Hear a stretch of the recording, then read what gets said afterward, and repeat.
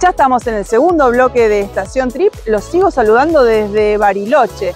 Ahora, con la magia de la televisión, nos vamos a la provincia de Tucumán para compartir unas experiencias formidables. Mira.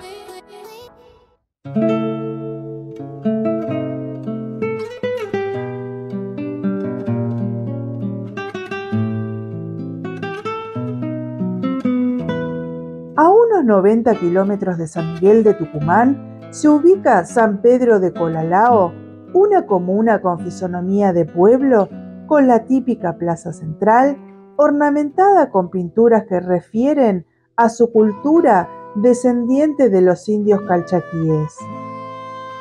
La localidad forma parte del circuito turístico del Valle de Choromoros, recorrida por dos ríos y rodeada de montañas boscosas.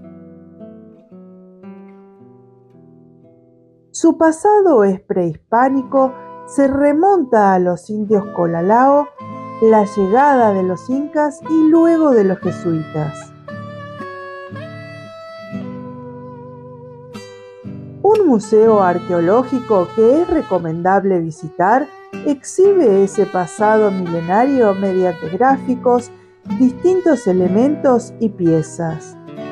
También se cuenta acerca de la llamada piedra pintada, una enorme roca descubierta en 1877 que aún hoy es motivo de estudio de arqueólogos y que se ubica en lo alto de un sitio sagrado.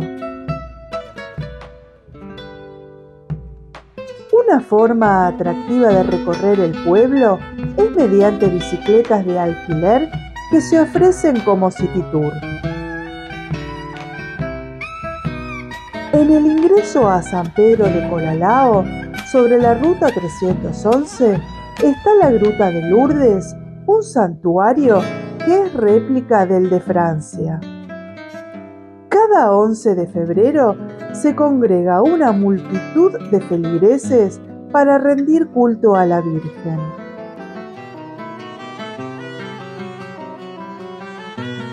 El predio tiene un mirador por el que dicen que este lugar es una sucursal del cielo.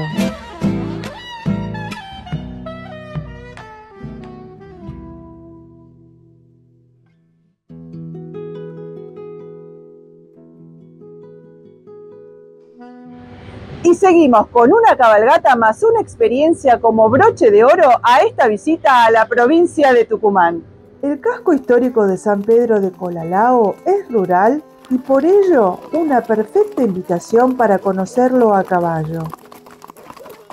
En nuestra experiencia de ello se encargará Magdalena y su tropilla. El camino va dejando atrás las pocas casas que habitan la zona para dar lugar a paisajes de montaña con mucho verde y partes que parecen alfombras de flores silvestres. Todo el trayecto es amigable, es decir, no ofrece dificultad ni esfuerzo hasta que se llega a lo que podría ser una estampa del paraíso, un refugio en plena montaña llamado Dos Pozos.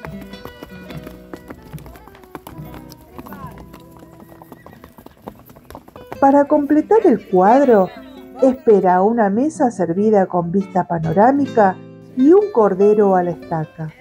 Pero antes, habrá una picada con los tradicionales quesos de Tafí del Valle y vinos de altura de los valles calchaquíes. En ese entorno conversamos con nuestro anfitrión Fernando Carrizo. Este es un servicio que se ofrece a los turistas todo el año, estamos abiertos, es una empresa de turismo activo, turismo aventura, se llama Dos Pozos, justamente turismo activo. Ofrecemos trekking, que son las caminatas, cabalgatas y mountain bike, que es el equivalente al cicloturismo. Aparte de, eso, también ofrecemos la noche de alojamiento para nuestros clientes en el refugio de montaña donde estamos ubicados ahora, en donde disponemos de dos cabañas eh, para 10 personas con un baño compartido, más una cocina comedor, a donde el cliente se puede cocinar su propio menú, uno de los menús, el otro se lo ofrecemos nosotros. También disponemos en el lugar, en el mismo refugio, asadores, horno de barro, bueno, mesada, eh, cruz para el disco, cruz para el asado a la llama y disco para los menús, como por ejemplo locro o pollo al disco. ¿Cómo se contratan los servicios de ustedes? Se contratan a través de nuestras redes, eh, arroba refugio dos pozos en Instagram y a través de nuestro teléfono celulares, de nuestro WhatsApp, que son 381 4 45 32 44. ¿Hay forma de que uno pueda contratarles el servicio organizado como con los intereses de uno? Por ejemplo, qué es lo que quiere hacer, cuánto quiere quedarse, qué quiere comer. Claro, por supuesto, justamente nos caracterizamos por ofrecerle al cliente nuestra propuesta y de ahí si el cliente trae una propuesta distinta o quiere acomodarse a medida de su propuesta, lo puede hacer y nosotros le damos lugar a eso y se lo ofrecemos exclusivamente, personalizadamente para cada uno. Bien, ¿ustedes están todo el año prestando este servicio? Sí, sí, estamos todo el año brindando el servicio, desde hace dos años que estamos todo el año brindando el servicio. Tenemos oficinas de venta en la localidad de San Pedro, en la provincia de Tucumán. Tenemos puntos de venta e información turística ahí también, nos pueden encontrar.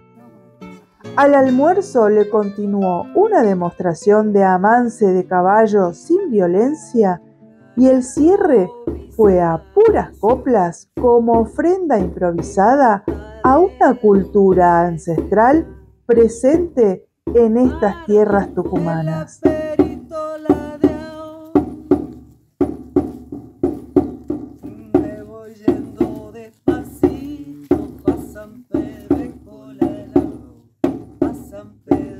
Llegamos al final del programa por hoy. Me despido desde el Cerro Catedral, el centro de esquí de Bariloche.